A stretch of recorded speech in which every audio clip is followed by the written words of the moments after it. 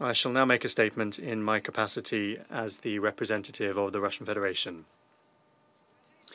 Distinguished colleagues, we're grateful to the Special Representative of the Secretary General, James Swan, and the Special Representative of the African Union and Head of AMISOM, Francisco Madeira, for their thorough briefings.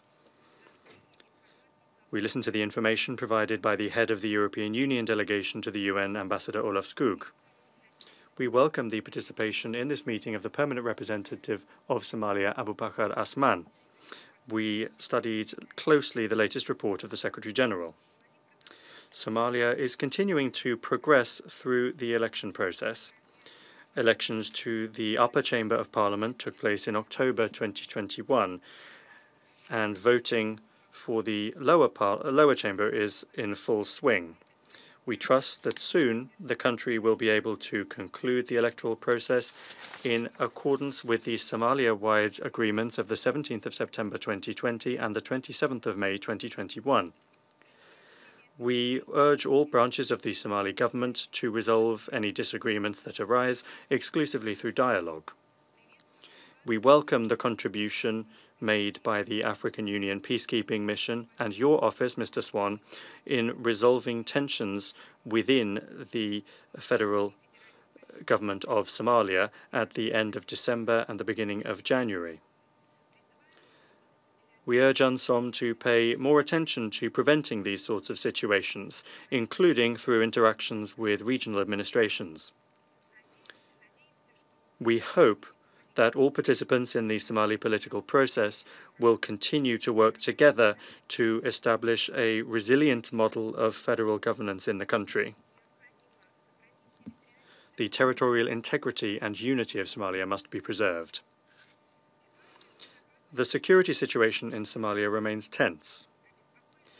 We are concerned by the notable intensification in the activities of al-Shabaab, which controls vast swaths of the south and center of the country its fighters are continuing high-profile attacks that cause many casualties, including terrorist attacks in cities and attacks on the positions and bases of AMISOM and the Somali National Army. We note some the, the efforts of the Somali government and the efforts of other countries in the region in the fight against terrorism, which is a cross-border phenomenon. We note some progress in discussions over the shared position of the African Union and the federal government of Somalia concerning the future security architecture in the country. We await the report on the outcomes of the work of the International Quartet on preparations for the mission's new configuration, its updated concept of operations, and the roadmap on logistical support. We call for a balanced approach to AMISOM's reconfiguration it is extremely important that the opinion and priorities of the host party be duly taken into account. Handing responsibility for security to the Somali army must take place gradually, step by step, depending on the real situation on the ground. We are convinced that in the present conditions of the ongoing terrorist threat, talking about the drawdown of the African peacekeeping mission is premature. We agree with those in the region that the priority should be ensuring sufficient, predictable, and sustainable financing for the mission.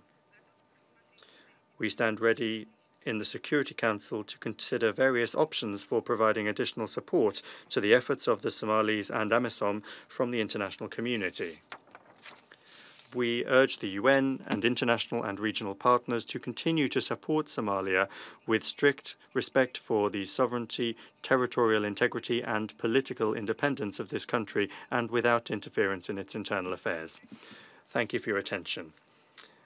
And I resume my function as President of the Council.